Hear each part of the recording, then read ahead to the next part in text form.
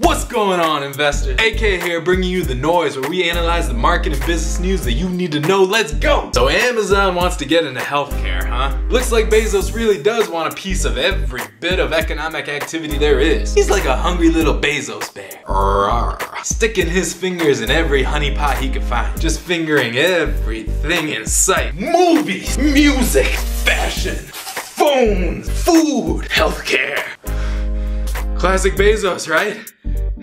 Makes sense though. Back in 1960, healthcare was just 5% of GDP. Today, it's closer to 18, so there is a lot of money to be made there. Amazon announced that they plan to partner with Berkshire Hathaway and JP Morgan to create an independent, non-profit company to help reduce healthcare costs for their employees. What a dream team, right? Sounds great, but how the hell is that supposed to work? We all know healthcare is an absolute mess, and its problems are way too complicated to be solved with two-day shipping. Well, Ben Thompson has a great article explaining how he thinks things will go down. I'll link to it in the description. Contrary to popular belief, Ben thinks Amazon won't try to become its own insurance company. And that's because insurance only works at scale. You need a huge pool of people buying insurance so that the risk can be properly spread. And the larger the pool of people, the more bargaining power you're gonna have over other parts of the healthcare chain. So even though together Amazon, Berkshire, and JP Morgan have tons of employees, it's still not enough to compete in that space. Instead, Amazon will stick to what it's good at, being a middleman. Just like Malcolm. The goal will be to create a marketplace between its employees and outside healthcare suppliers. Amazon would start by building a healthcare interface that's leagues better than anything else out there. Cause you know Amazon is pretty good at tech stuff. And then their employees would use that interface to choose against competing suppliers. And once that health marketplace was up and running, Amazon would expand it to every company in America. They'll keep gaining new users looking for healthcare, and in the process, eventually control all the demand in the healthcare system. They'll effectively become the demand aggregator. This will in turn force all the healthcare suppliers to go to Amazon to get access to the users in that marketplace. And if they're on Amazon's platform, that means they have to play by Amazon's rules, which could mean, for the first time ever, transparent pricing. One of the biggest problems with the current healthcare system is that no one knows what anything actually costs. And because no one knows, the players in the supply chain jack up the prices to scratch each other's backs. Ask yourself, how much does a prostate exam really cost? I mean, Japanese businessmen pay a lot for that type of action, but should you have to too? Having actual price transparency could really deflate healthcare costs and completely change the game. And on top of that, imagine Amazon being the middleman consolidating all that patient data in their system. Easy access in just one place would immediately help patients and their doctors. And that's not even mentioning what could happen when Amazon releases its machine learning algos on all that data. Who knows what insights we may get? And the eventual data hacker leak will be insane. And it'll give me so much stuff to talk about. Now this marketplace isn't gonna happen tomorrow. A project like this will take years, especially considering how complex healthcare